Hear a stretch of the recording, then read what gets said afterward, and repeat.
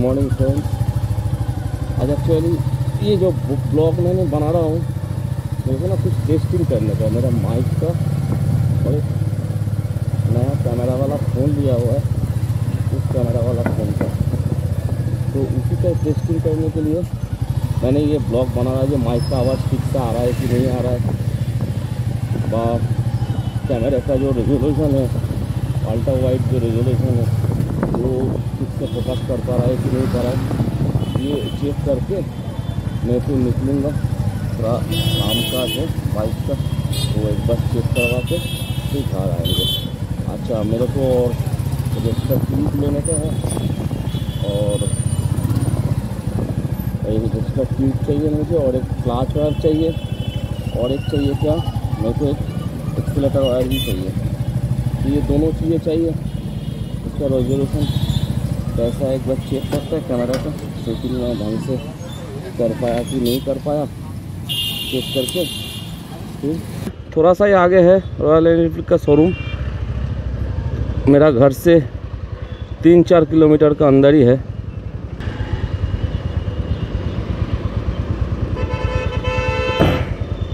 इसका अगर ये वाला माइक मेरा काम, नहीं काम करेगा तो मैं इसका माइक चेंज करूँगा, इसलिए एक बार टेस्ट कर रहा हूँ ये सब टेस्ट वीडियो टेस्टिंग वीडियो। इसका वाइड एंगल कैसा आ रहा है नहीं आ रहा है देखने के लिए। आ, ये वाला जो कैमरा है मोबाइल है इसका स्टेबलाइजेशन कैसा है? स्टेबलाइजेशन ठीक आ रहा है कि नहीं आ रहा है? वो भी चेक करने का है।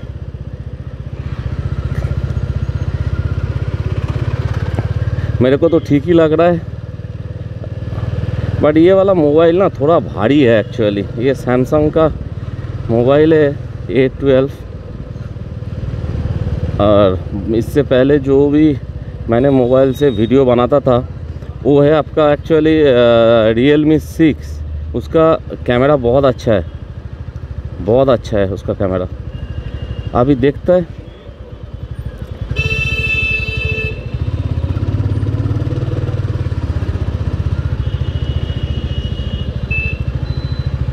क्योंकि ना मेरा आ, मैंने एक जे मेरा जो जे माउंट के साथ ना मैं दो एक्सटेंशन मंगाया अभी नया। क्योंकि मेरा ना सब ये बाइक का सामने वाला पोर्शन सिर्फ़ आ रहा था मेरा काफ़ी वीडियो इसकी वजह से ना ख़राब हो गया। आपने मेरा काफ़ी ब्लॉग में देखा होगा जो वीडियो बाइक का सिर्फ़ सामने वाला पोर्शन रॉयल एनफील्ड का आता है। और रोड मैंने उठा था उसको भी काट करना पड़ता है क्योंकि मेरे पास ना एक्सटेंशन नहीं था और वो काफ़ी नीचे हो जाता था। तो इसीलिए मैंने एक, दो पीस एक्सटेंशन मंगाया ऑनलाइन और उसके साथ इस वीडियो को इस मोबाइल को मैंने माउंट किया हूँ।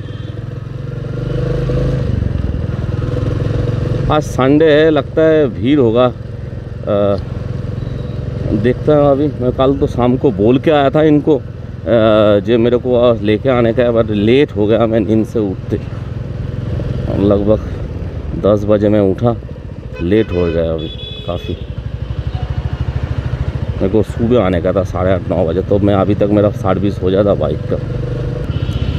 तो ये मैंने ना एक्चुअली मोबाइल का जो नॉर्मल कैमरा है, उसी से मैं ये वीडियो बना रहा हूँ। इसके बाद वीडियो बनाऊँगा जो वापस आने वाला, वापस ही जब होगा मेरा इधर से तो मैंने ना ओपन कैमरा से बनाऊँगा। मैंने इससे पहले जितना भी वीडियो बनाता हूँ, बनाता था तो मैंने सब ओपन कैमरा से बना हुआ। Open camera is good app सही में अच्छा है बहुत बढ़िया ऐप है। स्टेबलाइजेशन वीडियो का अच्छा है।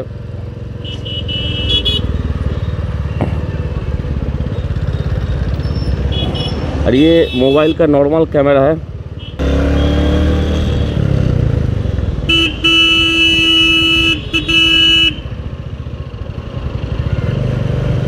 बाहर बहुत ज़्यादा गर्मी है भाई। सच में बहुत ज़्यादा गर्मी है बाहर। ये है जो सॉफ्ट में कल शाम को आया था मेरा फास्ट सर्विस में इधर से ही करवाया था, बकवास था। एकदम बकवास था। बात करता है अभी, पहुँच गया लेट सी देन फिर मिलते हैं आप लोगों से। ओके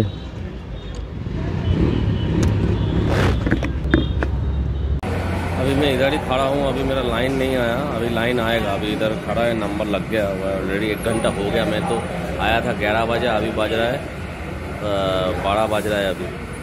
बस लेट्स सी क्या होता है। तो आज मेरे को सर्विस करना ज़रूरी भी था, क्योंकि इसके बाद मुझे ना बिल्कुल टाइम नहीं मिलेगा मुझे। ऑफ़िस से मेरा छुट्टी मिलना बहुत मुश्किल होता है। चलो जैसे ही चालू होता है, देखता हूँ अभी कितना बजे मेरा नंबर आ रहा है। अपडेट करते हैं। हाँ थोड़ी देर में। रुद्दो का सर्विस स्टार्ट हो गया।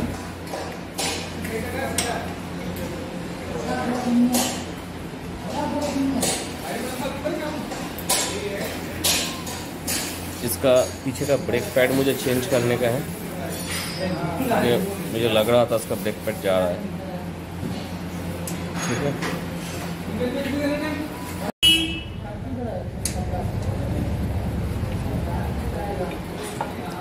ये टैपर सेट करने के लिए खोल रहा है इसको।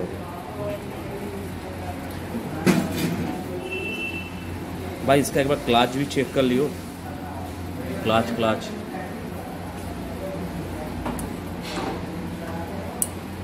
क्लाच चेक कर लेना हाँ एक बार। सॉरी क्लच प्लेट ही तो बोलता है हाँ क्लच प्लेट क्लच प्लेट देख लेना एक बार। अभी तो सही है चला जाएगा तभी भी एक बार देख ले यार।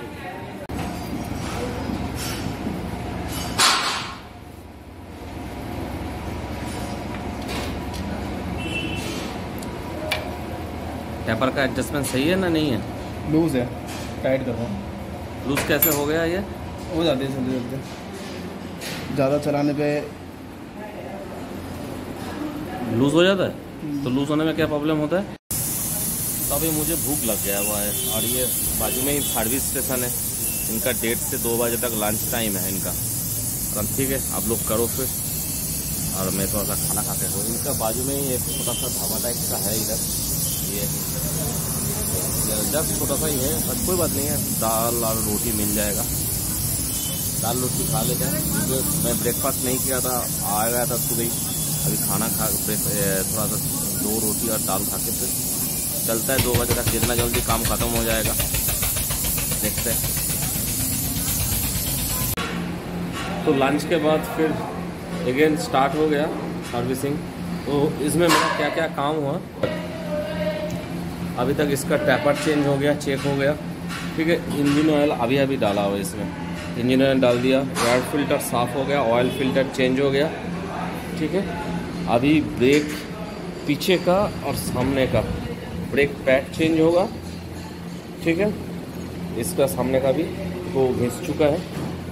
और और क्या होता है, फिर मैं बताता हूँ।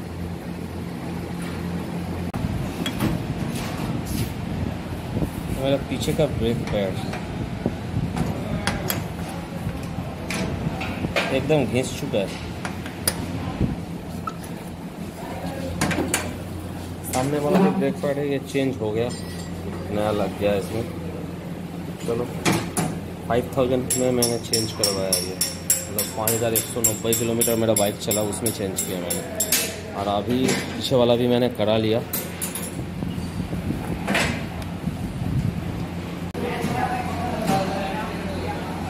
रुद्रवास होके आ गया हुआ है अभी देखो।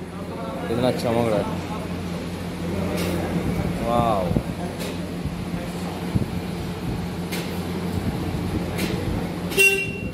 अभी रुद्र का नैनो कोटिंग होगा। ऐसे नैनो कोटिंग हो रहा है, ऐसे नैनो कोटिंग होगा इधर।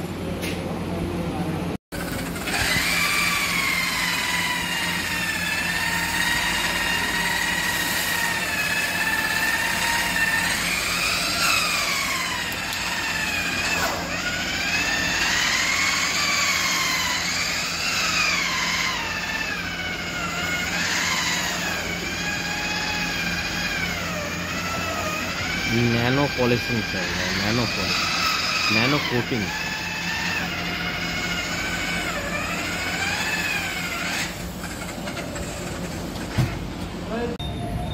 तो हो गया सर्विस रुद्र का। चलता हूँ घर। निकल रहा हूँ। इसमें से ये रॉयल एनफील्ड का था क्रूज़र हमारा घर का नज़दीक है। और ये रुद्र अभी चमक रहा है। चलो। बहुत टायर्ड हो गया, सुबह बारह बजे आया था हरा भी घर जा रहा हूँ। निकलते हैं। Guys good evening just now थोड़ी देर पहले ही मैंने अभी एक्चुअली घर आया हूँ। और मैं इसलिए, मैं क्योंकि बहुत टायर्ड हो गया था, सुबह बारह बजे से लेके शाम को छः बजे तक। क्योंकि उसके बाद दो तीन जगह पे मैंने गया भी था, और भी। तो मेरा जो ये थर्ड सर्विस का बिल आया, कम ही आया थ्री ज़ीरो एट एट आया हुआ है, इसमें। और मैंने इसमें ना कुछ चेंजेस करवाया। जैसे मैंने एक चेन ल्यूब लिया चेन ल्यूब किया था। एक इंजन ऑयल पहले चेंज किया और brake pad kit front and rear दोनों चेंज किया। एक सर्विस किट बोलते आता है, वो आया और मैंने एक अलग से, ये तो इसी, ये पूरा सर्विस कॉस्ट था थ्री ज़ीरो एट एट क्योंकि इसमें ना मैंने एक अलग से इन लोगों ने बिल दिया हुआ है मुझे। वन थाउज़ेंड का है टू टाइम्स के लिए एक नैनो कोटिंग बोल के आता है। एक नैनो कोटिंग है इधर। ये कुछ वन थाउज़ेंड का है ये, दो बार। अभी आठ, नौ महीना बाद, एक साल के अंदर कभी भी आप करा सकते हो। तो ये तो एक ये छोड़ के मैंने कुछ सामान ले एक चेन लुब्रिकेंट ले लिया था मैंने साथ में और एक दूसरा क्या लिया मैंने एक फ्रंट एंड रेयर दोनों एम का मैंने ट्यूब लिया। और एक टायर खुलने वाला वो भी चाहिए था मुझे जो पंचर की रिपेयर करने का वो भी एक लिया। अ, एक नहीं दो। और साथ में पंचर किट का टूल्स ये मैं दिखा रहा हूँ आप लोगों को कैसा कैसा है। तो फ्रेंड्स, ये कुछ इस ये मैं जो लिब्रिकेंट में लिया हूँ, ये रॉयल एनफील्ड से ही लिया हूँ एक्चुअली क्योंकि ये डे वन से मेरा बाइक पे लग रहा है, मैं सडनली अभी चेंज कर दूँगा। वो मेरे को, ये कितना वन फिफ्टी एमएल का है? फाइव फिफ्टी फाइव कुछ लिया हुआ है इसमें। नहीं सॉरी फाइव हंड्रेड एम का है ये। फाइव हंड्रेड एम का है। ठीक है? ये बहुत इंपॉर्टेंट चीज़ है, ये जो लिब्रिकेंट है। उसके बाद मैंने, मेरे पास एक क्लाच वायर लिया मैंने, मेरे को ज़रूरी था। और एक ये मेरा पीछे वाला ट्यूब है। एक एमआरएफ का ट्यूब है ये। और ये एक है पीछे सामने वाला ट्यूब है। ये पैकेट में हूँ, पैकेट में नहीं है। तो ये दोनों ट्यूब का सेवन थर्टी कुछ है। और ये जो वायर है, ये टू थर्टी का कुछ है। उसके बाद एक ये फाइव फिफ्टी फाइव का है। और एक ये ये दोनों है फोर हंड्रेड का। ये टायर खोलने वाला है एक्चुअली अगर पंचर हो जाए रास्ता में, भारी है दोनों दोनों चीज़ भारी है। ठीक है, एक ये सुलोचन है और एक ये आपका उसके लिए है ट्यूब को ये लगाने से पहले। और ये छोटा छोटा क्यूब और इसका अंदर मैंने ना कुछ अलग से भाल्व ले लिया हूँ। ये इसके अंदर कुछ भाल्व है। आठ दस भाल्व है ऐसा। अगर इनकेस कुछ प्रॉब्लम हो जाए तो मैं उसको चेंज कर लूँगा। और ये खोलने वाला भी मेरे पास एक छोटा सा किट से दिखा रहा हूँ मैं शायद ये रखा हाँ ये मिल गया मुझे। ये एक किट से अगर वो खोले। ये वाला। और आज तो मैं पूरा तो ये सब सामान है और एक एक ज़रूरी चीज़ें एक स्पॉन्ज टाइप का है। बाद में बताऊँगा। किस चीज़ काम के लिए बहुत मेरे को किसी ने दिखाया था। तो आज पूरा दिन इससे सब चीज़ ये सब चीज़ में लिपट गया। पूरा संडे मेरा। एनीवे anyway, और कुछ मेरा ज़्यादा काम बाकी नहीं है। सब कुछ हो के हो गया। अभी उसके बाद का जो प्रोग्राम है ये सब बाइक के लिए था। सब कुछ हो गया। जो मेन चीज़ें वही। ठीक है? और अभी कुछ प्रॉब्लम उसमें जो बाकी का तैयारी है जिस लॉन्ग ट्रिप के लिए ये सब तैयारी चल रहा है सब बाद में बताऊँगा। अब आप लोगों को शायद अंदाज़ा भी लग गया होगा। और मेन है पंचर सबसे डिफ़िकल्ट चीज़ है। अगर रात को सपोज़ आप सोच लो जब रुड़की से रुड़की क्रॉस करने के बाद जब हरिद्वार ऋषिकेश वाला रोड है, है बिल्कुल अंधेरा है चलते पूरा पहाड़ियों में रात रात को कुछ भी दिक्कत हो जाए तो अपने पास भाई जुगाड़ होना बहुत ज़रूरी है। सीधे बात है। अगर अपना जुगाड़ नहीं है तो उधर रोना पड़ेगा। आपके साथ जो साथी चल रहा है शायद वो अगर एक किलोमीटर आगे चला गया उसमें दिमाग खराब होगा। अपने पास पूरा सेटिंग लेके चलो कोई प्रॉब्लम नहीं है।